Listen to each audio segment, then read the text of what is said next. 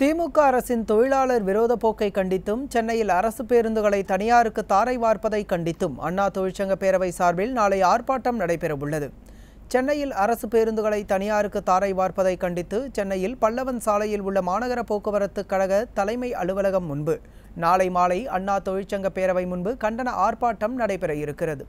இந்த ஆர்ப்பாட்டத்தில் மாநிலம் தழுவிய போக்குவரத்து கழக தொழிலாளர்கள் மற்றும் நிர்வாகிகள் கலந்து கொள்ள உள்ளனர்